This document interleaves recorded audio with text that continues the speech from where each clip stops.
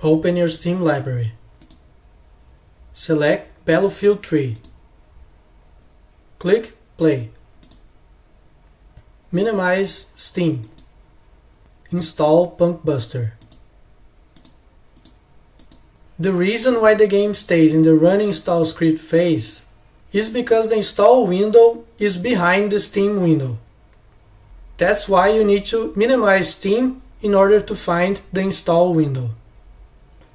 After installing Punkbuster, you may also need to update the EA app in order to play Battlefield 3. This is only necessary if the game isn't opening. To do this, go to the internet, write EA app, open the page, and download the EA app. Install it. If it is already installed, you can proceed through the repair option.